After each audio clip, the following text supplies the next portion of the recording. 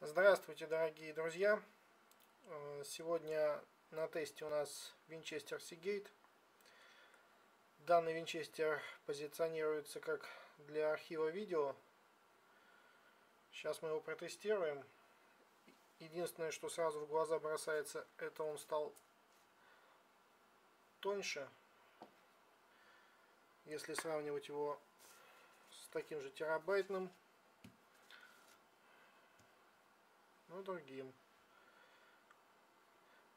Похоже, что используется одна блинная система внутри. Ну, давайте смотреть на тесты.